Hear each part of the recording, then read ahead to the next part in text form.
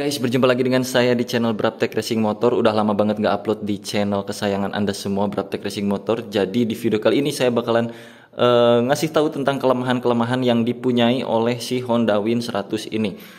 Untuk yang original ataupun yang udah modifan biasanya kelemahan ini menjadi hal utama untuk si motor Honda Win. Makanya banyak orang yang punya Honda Win tuh sampai dimodif-modif motornya untuk lebih nyaman lagi karena emang nggak bisa dipungkiri gitu ya motor tahun lama ya pasti ada kekurangannya gitu selain kelebihan-kelebihannya karena saya nggak akan ngebahas kelebihannya udah pada tahu lah pasti ya saya bakalan bahas kelemahan yang ada di motor ini supaya kalian semua tahu baik kalian yang mau pengen beli Honda Win atau kalian yang udah punya Honda Win tapi ngerasa ada yang kurang, kali aja masalahnya sama gitu kelemahan-kelemahannya, oke? Okay? Tapi buat kalian yang belum subscribe, saya minta untuk subscribe dulu kalau bisa supaya saya lebih semangat lagi untuk upload-upload video tentang si motor Honda Win 100 ini di channel Braptek Racing Motor, oke? Okay? Uh, semua yang saya sebutkan sekarang tentang kelemahan Honda Win ini berdasarkan pengalaman saya pribadi. Jadi buat kalian yang ngejudge bahwa oh nggak mungkin kayak gitu tuh Honda Win gitu. Ini berdasarkan pengalaman saya sendiri di motor Honda Win yang saya punya. Jadi sebelum modifikasi ini, motor ini tuh full original gitu. Cuman karena saya merasakan beberapa kelemahan itu, maka saya modifikasi sampai kayak gini gitu. Ya ini selera lah ya. Tapi ya pokoknya saya mau infoin kelemahan-kelemahan yang saya rasain. Yang pertama adalah di getaran getaran di bagian stang dan getaran di bagian footstep sini. Oke. Okay? Jadi kalau kita lagi kenceng nih pakai Honda Win di RPM 100 eh 100 di RPM tinggi lah pokoknya kita lagi kenceng-kencengan gigi 5 misalnya eh gigi 5. Iya yeah, gigi 5 ya. Saya lupa ini Honda Win giginya berapa udah lama nggak pakai anjir. pokoknya pas kenceng lah di top speed gitu kerasa banget nih getarannya di footstep sama di area stang gitu kerasa banget. Nah salah satu caranya supaya meminimalisir getaran di area itu yang pertama ganti stang sih pakai yang palang kayak gini nih ya. Ini cukup membantu kalau kalian pakai palang seenggaknya getaran agak sedikit berkurang. Itu satu. Yang kedua, kalian pakaiin karet e, pengganjal kayak gini nih untuk peredam getaran ya, tapi yang bagus gitu. Jangan yang udah rapuh kalian masih tetap pakai itu sangat berpengaruh ke area stang untuk getaran gitu. Soalnya kan bawaan bawaan si Honda ini e, ini nggak ada palang tuh yang pertama, jadi saya ganti pakai palang supaya meredam. Terus karetnya tuh biasanya kalau yang original itu karet-karetnya udah pada buduk gitu, udah rapuh, udah jelek gitu. Makanya saya ganti pakai yang bagusan karetnya. Dan di area stang udah cukup sekarang cukup baik, cukup enak gitu, sesuai lah pokoknya kayak motor-motor zaman sekarang. Terus di area footstep saya ngakalinnya supaya enggak kerasa getar gitu ya. Pertama ya pasti ganti dulu si karet ininya nih karena kan kalau ini udah tipis dalamnya udah gojlak gitu udah oblak ya di dalamnya karet-karetnya udah enggak pas lagi ya pasti bergetar gitu. Makanya diganti pakai yang kayak baru lagi sama di area bawah di sini di baut-baut diganti lagi pakai karet-karet gitulah pokoknya supaya nggak terlalu bergetar. Dan di motor ini masalah getaran sudah hilang udah aman walaupun kita pakai kenceng-kenceng oke? Okay? itu kelemahan pertama di Honda Win tuh getaran di stang ataupun di footstep padahal motornya kan nggak kenceng-kenceng amat ya tapi kalau lagi kita pakai kebut kerasa banget bergetar jiwa pokoknya di tangan di kaki ah pokoknya bergetar banget lah Oke, kelemahan yang kedua yang saya rasakan di motor saya ini waktu itu, waktu masih tampilannya original adalah nggak center. Entah itu rangkanya ataupun apanya lah, pokoknya saya juga kurang paham, tapi nggak center. Antara ban depan sama ban belakang, uh, sorry, antara ban depan sama ban belakang itu nggak lurus gitu. Jadi kalau kita perhatiin gini, waktu dulu ya, ban depan tuh ada di sebelah sini nih. Tapi pas saya cek ban belakang itu ada di sebelah sini. Jadi kalau motornya maju, mungkin kalian pernah lihat juga di jalan ya bapak-bapak pakai Honda Win atau kakek-kakek gitu misalnya. itu motornya tuh kayak miring aja gitu tuh, ban belakang di sini, di sini di kiri gitu, ban depan ada di kanan, terus pas belok tuh kayak nggak enak liatnya. Nah itu salah satu cara untuk mengakalinya adalah di area segitiga dicek dulu apakah bengkok atau enggak gitu. Nah ini saya udah ganti segitiganya pakai yang second tapi original tapi masih bagus gitu. Kalau yang dulu tuh masih eh, yang dulu yang saya itu agak sedikit bengkok jadi saya ganti dan udah cukup enak. Terus di belakang juga suspensi saya ganti, arm saya ganti supaya lebih enak lagi, lebih baru lagi dan sekarang posisinya udah lurus gitu. Nah tapi kalau buat kalian yang udah ganti semua itu tapi masih bengkok juga nih ban depan ban belakang. Kemungkinan cek di bagian rangka karena rangka Honda ini cukup rentan gitu. Soalnya kan motornya biasanya bekas dipakai ke sawah atau bekas pakai dinas jalanan jelek gitu kan wajar kalau rangkanya ya agak rentan gitu. Karena kan ini motor tua juga kita harus bisa mewajari. Tapi sebagai uh, generasi anak muda sekarang ya kita harus meminimalisir itulah supaya lebih enak untuk menjalani hobi riding pakai motor Honda Win bener gak? Terus kelemahan yang ketiga yang saya rasakan adalah di area pengereman. Seperti yang kalian bisa lihat di sini kenapa saya langsung ganti menggunakan cakram ya dari uh, apa dari set di depan nih udah pakai cakram nih. Kalian bisa cek videonya gimana proses saya memasang si cakram dan detail-detail cakramnya tuh kayak gimana. Kalian bisa lihat uh, kalian cari aja di channel Bartek Racing atau kalian klik di pojok kanan atas. Itu udah udah saya buatkan videonya tentang detail si cakram ini Nah, alasan saya mengganti cakram untuk Honda Win walaupun menghilangkan esensi klasiknya, tapi saya tetap menomorsatukan yang namanya kenyamanan berkendara ya.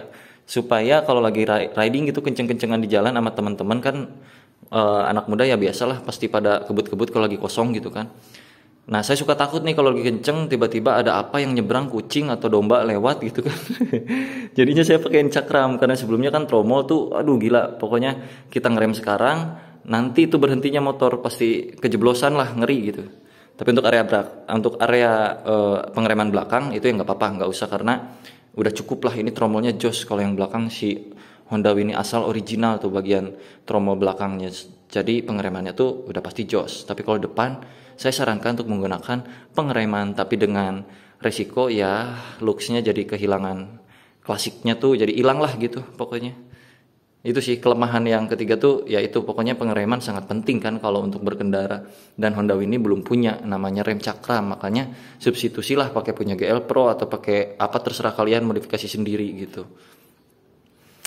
Dan kelemahan lainnya yang saya rasain di motor Honda Win ketika saya belum modifikasi ini kayak gini ya adalah di area lampu-lampu. Jadi saya tuh sering main malam pakai Honda Win, riding malam lah NR atau touring-touringan malam Uh, cuman saya seringnya satu atau dua motor gitu nggak pernah banyak-banyak. Dan kebetulan motor teman saya juga Honda Win redup lampunya karena original. Kita berdua waktu itu original.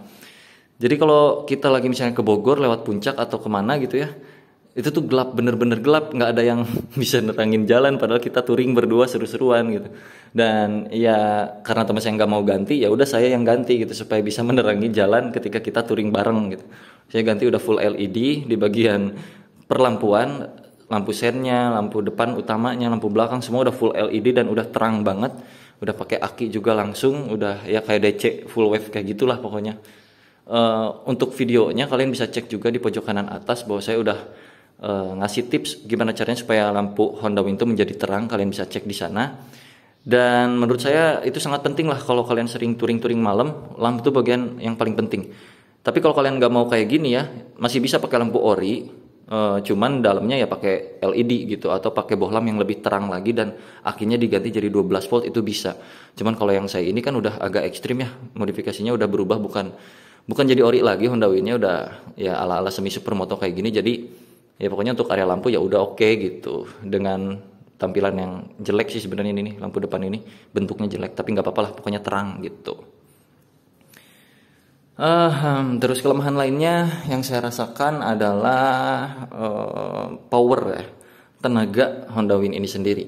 Jadi powernya di RPM atas itu teriak doang, larinya enggak ada. Jadi uh, emang itu bawaan karakter mesinnya si square engine kan ya, dia tuh square engine, diameter piston dan langkahnya tuh mirip-mirip dimensinya. Jadi powernya tuh ada di area bawah gitu di area bawah dan menengah. Jadi untuk kemacetan jalan si Honda Win bakal bisa melibas dengan cepat. Tapi ketika touring misalnya saya pergi ke Jakarta dari Bandung kan banyak tuh jalan yang lurus panjang gitu nggak berhenti berhenti kalau pakai Honda Win tuh kerasa banget uh, apa kayak tenaganya tuh diem di putaran atas tuh nggak lari-lari lagi gitu. Makanya saya melakukan modifikasi kayak gini gitu. Ya wajar aja sih uh, apa Honda Win 97cc motor keluaran tahun 2000-an atau bahkan sebelumnya mm, mau ngejar RPM atas kayaknya enggak juga karena motor ini peruntukannya untuk memang e, perkotaan dan dinas atau di persawahan kayak gitu-gitulah. Makanya banyak dipakai terabas karena powernya ada di RPM bawah.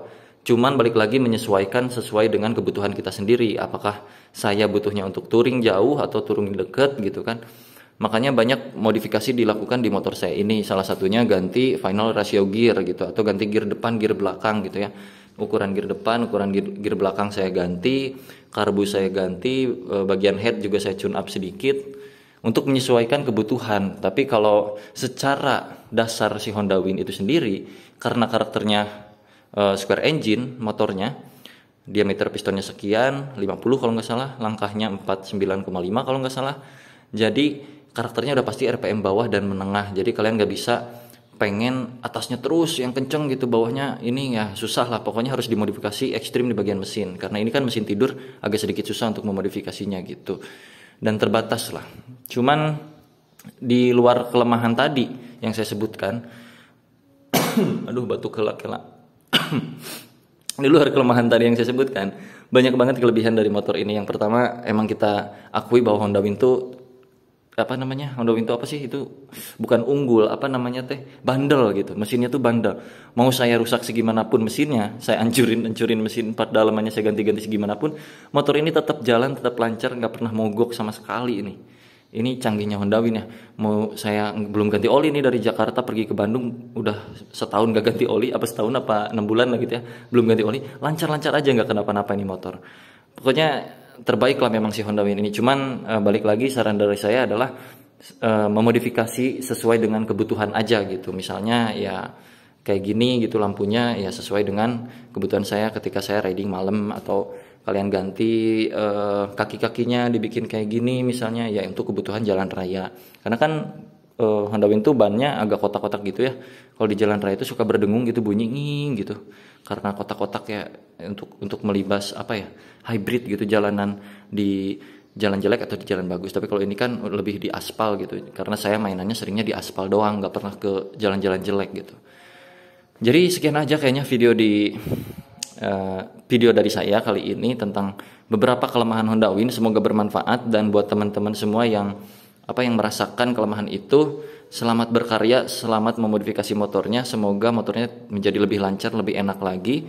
Dan buat teman-teman yang bilang bahwa di motor saya nggak ada tuh kelemahan yang kayak tadi, saya katakan sekali lagi, ini berdasarkan pengalaman saya. Belum berarti di motor kalian kayak gini, tapi kebanyakan ya yang saya lihat dari motor saya, motor teman-teman saya, di komunitas saya juga itu rata-rata ya pakai begitulah nggak bisa dipungkiri gitu untuk teman-teman saya pun. Karena saya bikin video ini pun berdiskusi dulu sama rekan-rekan Honda Win yang ada di Bandung gitu dan ternyata memang kayak gitulah faktanya gitu. Tapi buat kalian yang nggak mengalami kelemahan itu nggak punya kekurangan-kekurangan itu di motor Honda Win-nya bersyukurlah karena kalian nggak perlu memodifikasi lagi. Kalian tinggal pakai enak enjoy gitu. Oke jangan lupa di subscribe ya channel ini karena saya biar semangat lagi nguploadnya gitu. Kemarin lagi sibuk-sibuk aja nih jalan-jalan terus refreshing lah mencari mencari keindahan hidup gitu ya. Jadi nggak upload dulu sekarang udah mulai upload lagi. Aduh uh, kangen juga sih ini di Proptech Racing Motor. Nanti saya mau bahas, bahas apa lagi ya di Honda Win. Ya sampai jumpa di video berikutnya lah karena durasinya udah kelamaan jadi takutnya kalian bosan juga. Semoga bermanfaat. Terima kasih. Bye bye.